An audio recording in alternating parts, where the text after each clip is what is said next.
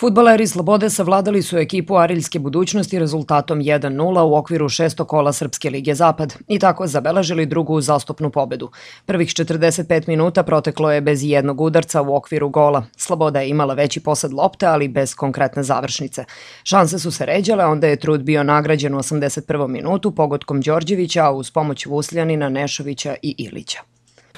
Mogu da pohvalim kolegu ekipa koja će da igra futbal, što je nažalost redkost u Srbiji ali jednostavno mi smo danas bili bolji, imali smo, moram i to reći, 24 sata više vremena da se oporavimo.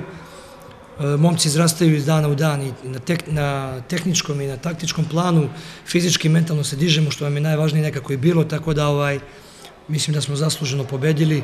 Sa 1-0 možda smo mogli još neki gol da postignemo, ali svakako sam prezvoljan najviše zbog momaka koji se trude i koji rade zaista fenomenalno, tako da okrećemo se sledeću utakmici, ulazimo u seriju, nadamo se da ćemo nastaviti tu seriju Bogatiću.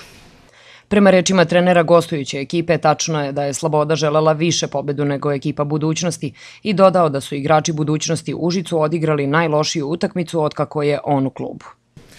E, I zaslužena pobeda Slobode. Što se tiče e, Arilja, budućnost je danas bila bleda senka od prethodnih pet kola, a treba biti samo kritičan, možda sam i ja pogrešio kod izmena što se tiče moje ekipe možda sam mogao to bolje da odradim.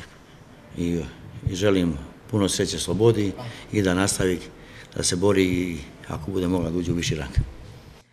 U narednom sedmom kolu Srpske lige Zapad ekipa Gradskog futbalskog kluba Sloboda borit će se za još jednu pobedu na gostovanju Mačvi 1929 iz Bogatića u subotu 19. septembra sa početkom od 15 časova i 30 minuta, dok će budućnost dočekati slogu iz Petrovca na Mlavi u nedelju 20. septembra, takođe sa početkom od 15 časova i 30 minuta.